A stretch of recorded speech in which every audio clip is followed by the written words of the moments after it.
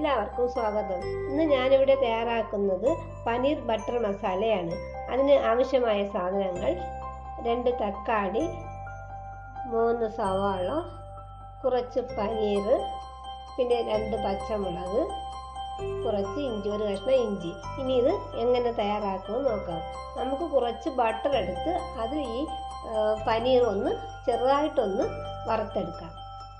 അതിനുശേഷം നമുക്ക് ഈ തക്കാളിയും സവാളയും കൊണ്ട് നല്ലതുപോലെ വഴറ്റി മിക്സിയിൽ അരച്ചെടുക്കണം. ഇനി നമുക്ക് കറി തയ്യാറാക്കാം. പാത്രം അടുപ്പ് വെച്ച് അതിൽ കുറച്ച് ബട്ടർ ഒഴിച്ചു കൊടുത്ത് അത് നല്ലപോലെ ഉരുകി വന്നിട്ടുണ്ട്. ഇനി നമുക്ക് ഇതിലേക്ക് നമ്മൾ എടുത്തു വച്ചിരിക്കുന്ന പനീർ ഇട്ട് കൊടുക്കാം.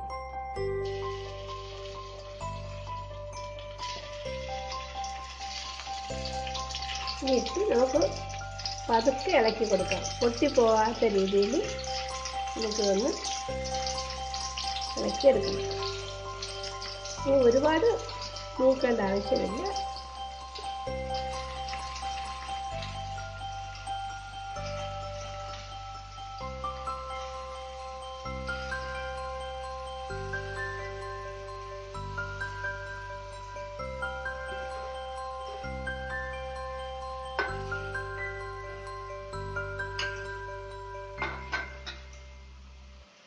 ഒരു സൈഡ് മൂത്ത് വരുമ്പോൾ നമുക്ക് ഒന്നുകൂടി മറിച്ച് മറു സൈഡും കൂടി മൂപ്പിച്ചെടുക്കാം.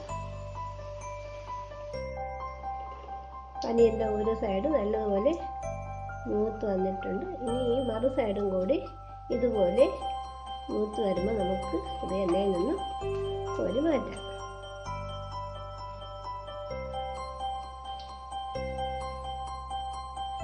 പനീറിന് രണ്ട് സൈഡ് നല്ലതുപോലെ മൂത്ത് വന്നിട്ടുണ്ട്. ഇനി നമുക്ക് ഇതിൽ മാറ്റാം.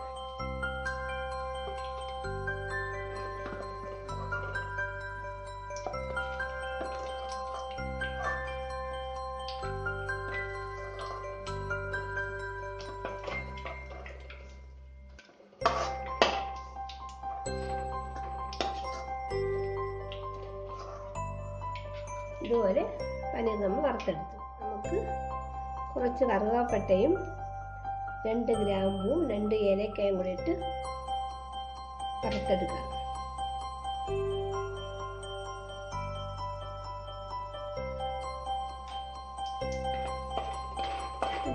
പച്ച പച്ചച്ചുവയൊന്ന് മാറുന്നവരെ വറുത്തു വറുത്ത് കൊടുക്കാം ഗ്രാമ്പൊക്കെ കുറച്ചിട്ടാൽ മതി. ഒരുപാട് ഇട്ട് കഴിഞ്ഞാൽ മസാലയുടെ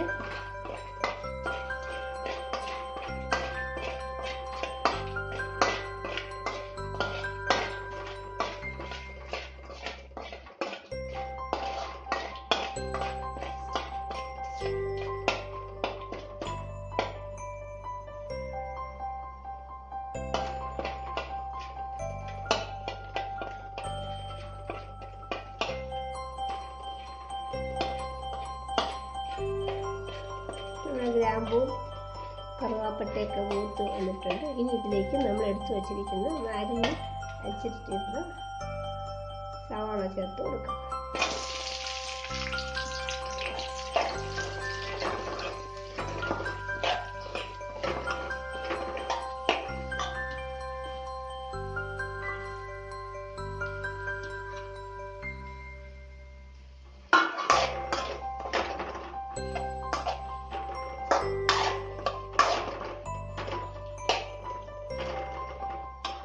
ഇതിലേക്ക് കുറച്ച് ഉപ്പ് ചേർത്ത് കൊടുക്കാം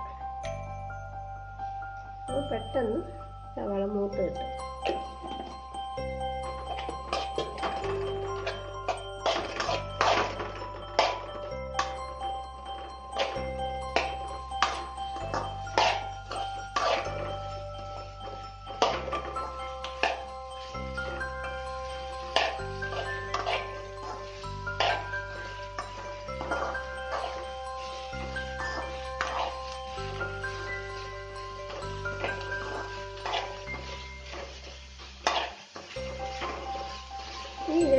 നമ്മൾ അരിഞ്ഞു വെച്ചിരിക്കുന്ന പച്ചമുളകും ഇഞ്ചിയും കൂടി ചേർത്ത് കൊടുക്കാം പച്ചമുളക് നമ്മുടെ എരിവിനനുസരിച്ച് ചേർത്ത് കൊടുത്താൽ മതി. അതുപോലെ ഇഞ്ചിയും ചേർത്ത് കൊടുക്കാം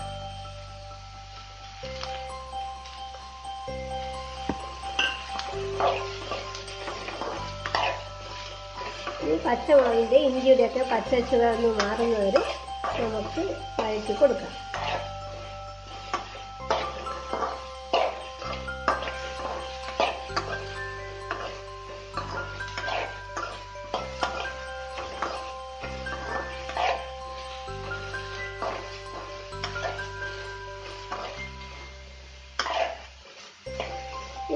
ചെറുതായിട്ടൊന്ന് ഒരു മൂത്ത് വരുമ്പോൾ നമുക്കിതിലേക്ക് നമ്മൾ അരിഞ്ഞു വെച്ചിരിക്കുന്ന തക്കാളി കൂടി ചേർത്ത് കൊടുക്കാം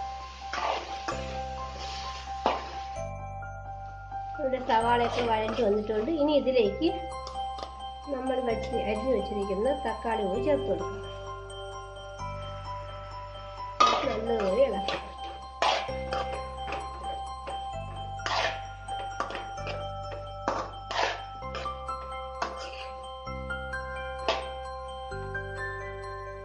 ഇനി ഇതിലേക്ക് നമുക്ക് കുറച്ച് മസാലപ്പൊടി ചേർത്ത് കൊടുക്കാം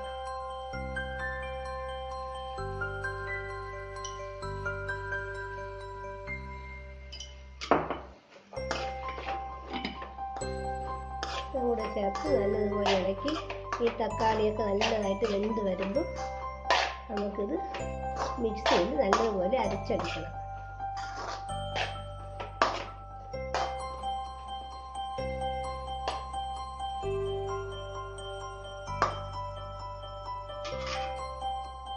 ഇതിലേക്ക് നമുക്ക് കുറച്ച് അണ്ടിപ്പരിപ്പ് കൂടി ചേർത്ത് കൊടുക്കാം.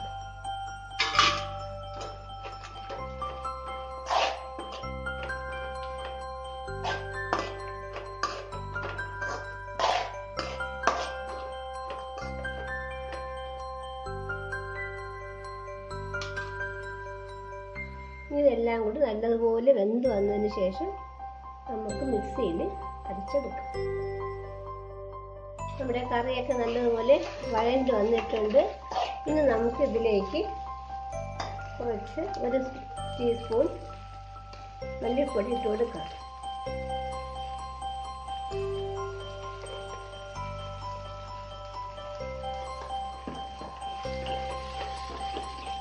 ഇനി ഇതിലേക്ക് കുറച്ച് മുളക് പൊടിയും കൂടി ഇട്ട് കൊടുക്കാം.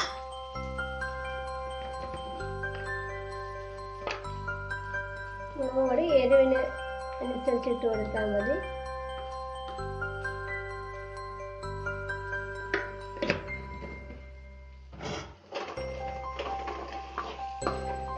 നമുക്ക് വേണമെങ്കിൽ കാശ്മീരി മുളക് പൊടിയും കൂടി ഇട്ട് കൊടുക്കുന്നത് നല്ല കളർ കിട്ടും. നല്ലൊരു ചുവന്ന കളർ കിട്ടുന്നതാണ്.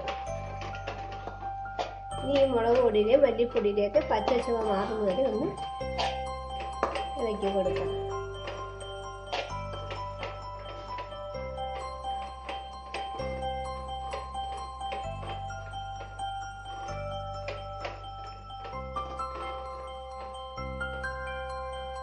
നമുക്ക് ഗ്യാസ് ഓഫാക്കി ഈ കറി നല്ല തണുത്ത് വരും നമുക്ക് മിക്സിയിൽ നല്ലപോലെ അരച്ചെടുക്കണം.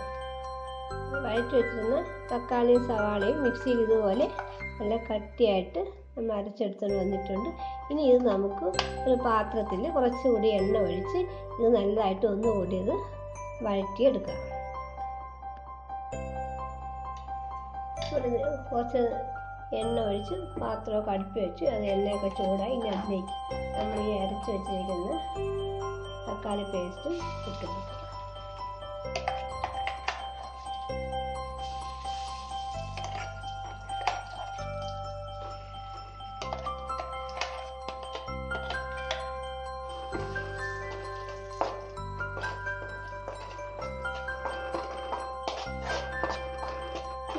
നല്ലതുപോലെ മൂത്ത് വരുന്നത്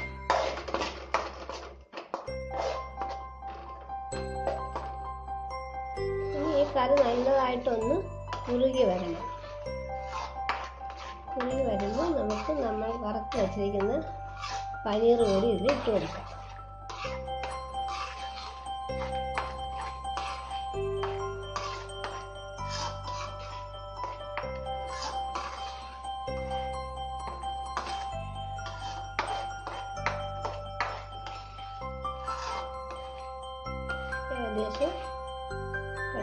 വന്നിട്ടുണ്ട്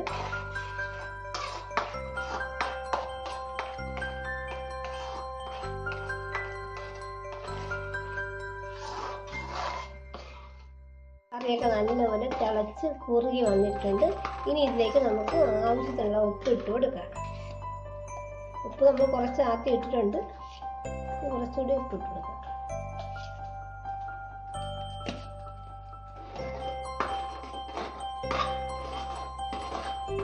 നമുക്കിതിലേക്ക് നമ്മൾ വറുത്ത് വച്ചിരിക്കുന്ന പനീർ കൂടി ഇട്ട് കൊടുക്കാം. പനീർ ഇതിലോട്ട് ഇടാം നല്ലോണം ഇളക്കാം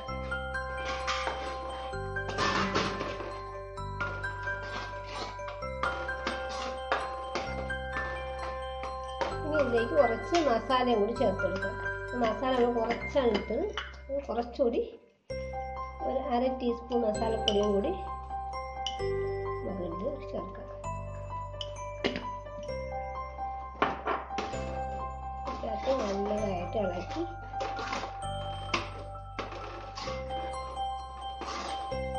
നമ്മളിതിൽ ഇതിൽ ക്രീം ഒന്നും ഒഴിക്കുന്നില്ല. അതുകൊണ്ട് നമുക്ക് ഇത് കുറച്ച് തേങ്ങാപ്പാലാണ് ഞാനിന്നിവിടെ ഒഴിക്കാൻ പോകുന്നത്. ഇതിലിട്ട് കുറച്ച് തേങ്ങാപ്പാലും കൂടി ഒഴിച്ചു കൊടുക്കുക പോലെ ഒഴിക്കുക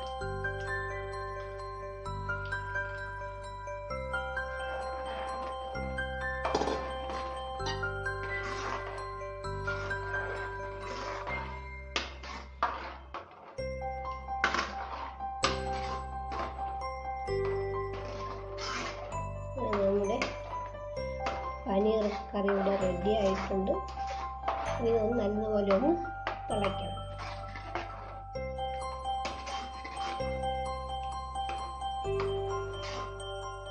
തിളച്ചിട്ടുണ്ട്. ഇനി ഇതിലേക്ക് നമുക്ക് ഒന്നോ രണ്ടോ ടീസ്പൂൺ പഞ്ചസാര കൂടി ചേർത്ത് കൊടുക്കാം. അപ്പോൾ കറിക്ക് നല്ലൊരു മധുരമൊക്കെ കിട്ടും. രണ്ട് ടീസ്പൂൺ പഞ്ചസാര ചേർത്ത് ഇളക്കുക ഇനി ഇതിലേക്ക് നമുക്ക് കുറച്ച് കസ്തൂരി മേത്തയും കൂടി ഇട്ട് കൊടുക്കാം. കസ്തൂരി മേത്ത് നല്ലതുപോലെ കൈ കൊണ്ട് ഇങ്ങനെ പൊടിച്ച് നമുക്കതിട്ട് കൊടുക്കാം.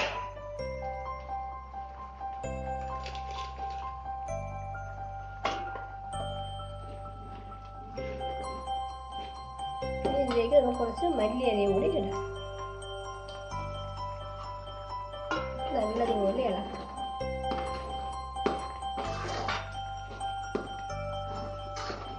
നമ്മുടെ പനീർ കറി ഇവിടെ റെഡി ആയിട്ടുണ്ട്. നല്ല ടേസ്റ്റ് ആയിട്ടുള്ള പനീർ കറി ഇവിടെ റെഡിയായി നമുക്ക് ഗ്യാസ് ഓഫ് ചെയ്ത് ഇത് വേറൊരു പാത്രത്തിലേക്ക് മാറ്റാം.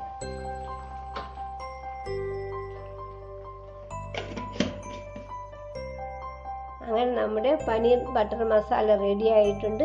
ഇത് വളരെ ടേസ്റ്റ് ആയിട്ടുള്ളൊരു കറിയാണ് വളരെ പെട്ടെന്നും എളുപ്പത്തിൽ തയ്യാറാക്കിയ ഒരു കറി കൂടിയാണിത് ഇത്. നമുക്ക് ചപ്പാത്തിലൂടെയും നാനിന്റെ കൂടെയും ബെറോട്ട കൂടെയൊക്കെ കഴിക്കാൻ പറ്റിയതാണ്. പിന്നെ നമ്മുടെ ദോശയുടെ കൂടെയും ഇത് കൂട്ടി കഴിക്കാൻ നല്ല ഒരു കറിയാണ്. ഇത് എല്ലാവരും ട്രൈ ചെയ്ത് നോക്കുക. താങ്ക്